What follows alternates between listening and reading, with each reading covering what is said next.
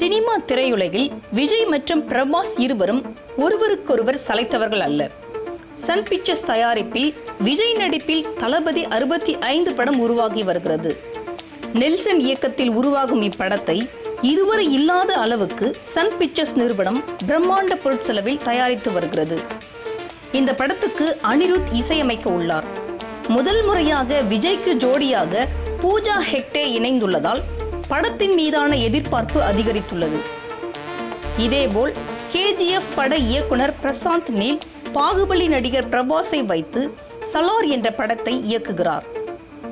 பிரம்மாண்ட ஆக்ஷன் படமாக உருவாகும் இப்படத்தில் பிரபாஸுக்கு ஜோடியாக ஸ்ருதி ஹாசன் நடித்து வருகிறார். விறுவிறுப்பாக நடைபெற்று வந்த இப்படத்தின் படப்பிடிப்பு கொரோனா நோய் தொற்று காரணமாக நிறுத்தி வைக்கப்பட்டுள்ளது. இந்த இரண்டு படங்களிலும் வில்லனாக நடிக்க பிரபல பாலிவுட் நடிகர் ஜான் ஆப்ரகாம் என்பவருக்கு வாய்ப்பு கிடைத்துள்ளது.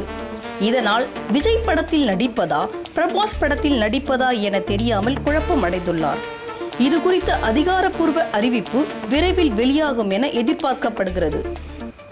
மாஸ்டர் படத்துக்கு பிறகு விஜய் பெயர் பாலிவுட் சினிமாவில் அதிகளவு பேசப்பட்டு வருகிறது என்பது குறிப்பிடத்தக்கது.